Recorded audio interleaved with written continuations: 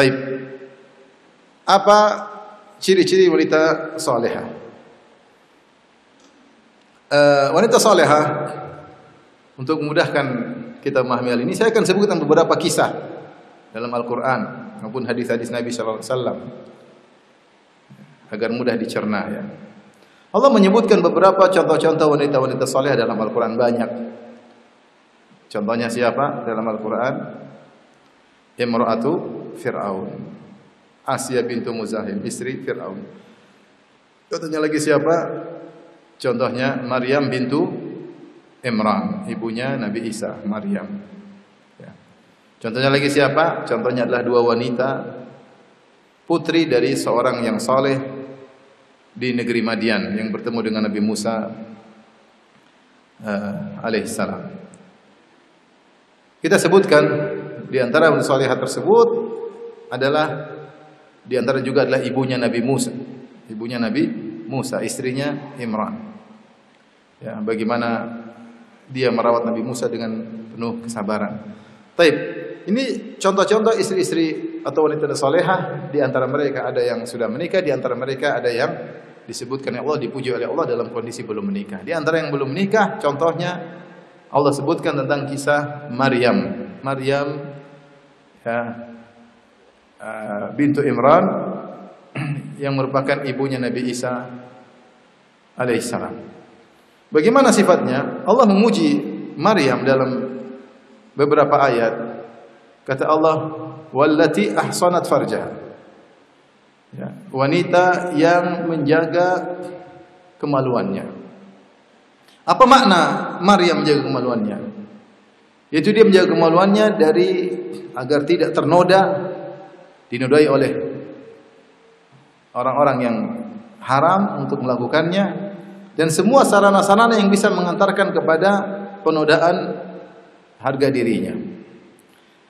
Begitu mulianya Maryam sampai Allah sebutkan allati ahsanat farjaha. Dialah Maryam yang menjaga kemaluannya. Ya. Dan Allah sebutkan misalnya dalam sifat wanita salehah, wanita mukminah kata Allah wa kullil mu'minati yaghuddna min absarihinna wa yahfazna furujahunna wala yubdina zinatahunna illa ma dhahara minha. Dan seterusnya dalam surat An-Nur kata Allah Subhanahu wa taala katakanlah kepada wanita-wanita mukminah untuk menundukkan pandangan-pandangan mereka dan untuk menjaga kemaluan mereka. Dan tidaklah mereka menampakkan perhiasan mereka kecuali yang bisa nampak wal yadribna bi khumurihinna ala juyubihinna wala yubdina zinatahunna illa dan seterusnya Hendaknya mereka menjulurkan jilbab mereka dan tidak mereka menampakkan uh, aurat mereka kecuali kepada orang-orang yang mahram mereka yang Allah sebutkan dalam Al-Quran. Jadi Allah menyebutkan bahwasanya di antara sarana untuk menjaga kemaluan adalah menundukkan pandangan. Kemudian menjaga kesucian diri dengan memakai jilbab, tidak menampakkan aurat kecuali kepada orang-orang yang memang boleh untuk melihatnya. Selain itu maka tidak boleh. Ini contoh wanita salehah. Prakteknya lihatlah Maryam. Allah sebutkan dalam surat Maryam. Wadhkur fil kitabi Maryam idin tabadat min ahliha makanan syarqiyya. Fattakhadat min dunihim hijaban fa arsalna ilaiha ruhana fatamathala laha basharan sawiyya. Qalat inni a'udzu birrahmani minka in kunta taqiyya. Qala innama ana rasulu rabbiki li ahaba laki gulaman zakiyya. Qalat anna yakunu li gulamun wa lam yamsasni basharun wa lam aku baghiya. Kisah yang indah yang Allah menyuruh Nabi untuk menyebut kisah ini. Kisah yang menjadi pelajaran bagi seluruh wanita yang ingin menjadi wanita mukminah, menjadi wanita soleha, menjadi wanita yang bahagia, wanita yang dimuliakan oleh Allah dan Rasulnya kisah Maryam. Kata Allah, sebutkanlah tentang kisah Maryam. Ya. Ketika dia menjauh menuju tempat di daerah yang timur untuk apa? Untuk beribadah kepada Allah Subhanahu wa taala. Fattakhadat min dunihim hijaban, maka dia membuat hijab sehingga dia bisa fokus beribadah. Allah uji dia. Kata Allah, "Fa arsalna ilaiha ruhana." Kami pun kirim kepada Maryam malaikat Jibril. Fatamatsala laha basharan sawiyya. Maka jadilah malaikat Jibril seorang lelaki yang sempurna, lelaki yang tampan. Lelaki yang tampan. Bayangkan Maryam sedang beribadah di balik hijab, tiba-tiba datang seorang lelaki nyelonong masuk dalam ruangannya. Lelaki tersebut bukan lelaki sembarangan, lelaki yang tampan. Jelmaan dari malaikat Jibril.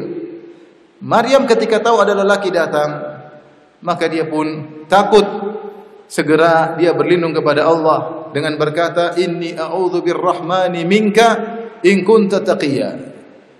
Dia mengatakan aku berlindung kepada Allah dari gangguanmu wahai sang lelaki. In kunta taqiyya jika kau bertakwa tinggalkan diriku. Dia nasihati dirinya berlindung kepada Allah Subhanahu wa taala dan dia nasihati si lelaki tersebut. Dia tidak tahu kalau itu malaikat Jibril. Dia tidak tahu malaikat Jibril tanpa basa-basi tanpa bilang mas mau ke mana mas enggak salah kamar mas enggak langsung spontan dia berkata inni a'udzu birrahmani minka Aku berlindung kepada Allah dari gangguanmu. In kunta taqiyya jika kau bertakwa tinggalkan aku. Ini wanita yang soleha. Tidak suka ketawa ketiwi dengan lelaki yang bukan mahramnya. Tidak membuka celah bagi lelaki untuk menggodanya. Ini wanita soleha. Wanita yang mungkin dikucilkan oleh masyarakat. Tetapi dia mulia di sisi Allah subhanahu wa ta'ala. Wanita yang telah benar dalam jalan mencari kebahagiaan Maryam bintu Imran dia tidak buka peluang bagi Jibril dia mengatakan ini a'udzu birrahmani minka dia tahu bahawa yang bisa selamatkan dia hanya Allah kenapa ini lelaki tampan siapa yang tidak suka lelaki tampan di hadapan dia tiba-tiba. Tidak ada orang lain kecuali mereka berdua. Seandainya mereka melakukan keharaman tidak ada yang tahu. Maka tidak ada yang bisa menyelamatkan dia kecuali Allah. Maka dia langsung berlindung kepada Allah. Inni a'udzu birrahmani minka. Dikarenanya kalau ada godaan-godaan yang mulai menggoda bisikan-bisikan syaitan menggoda hati-hati kita untuk tergoda segera bilang a'udzu birrahman. Aku berlindung kepada Allah minka dari engkau wahai syaitan. Berlindung kepada Allah Subhanahu wa taala. Maka dia pun berbicara kepada malaikat Jibril, dia nasihati Nabi Jibril kepada Jibril, dia tidak tahu kalau ini jelmaan malaikat Jibril, bertakwalah kepada Allah. Maka Jibril pun menjelaskan, ternyata dia bukan lelaki yang ingin menggoda, dia tampan, dia tidak ingin menggoda Maryam.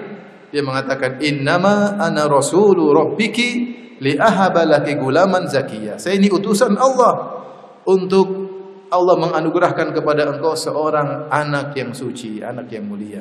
Apa kata Maryam spontanitas? Dia berkata, "Anna yakunu li gulamun wa lam yamsasni basharun wa lam aku baghia." Bagaimana saya bisa punya anak?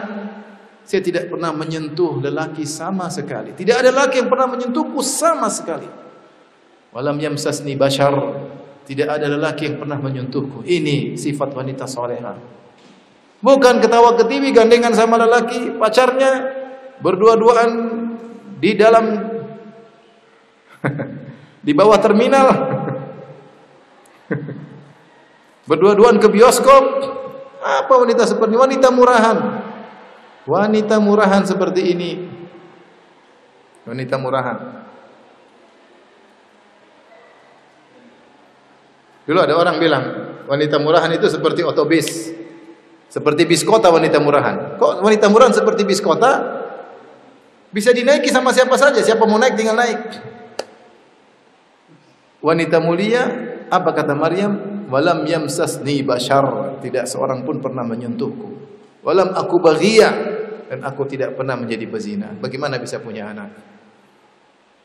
Maka Jibril mengatakan mudah mudah bagi Allah tinggal ditiupkan ruh maka Maryam pun mengandung Nabi Isa alaihi salam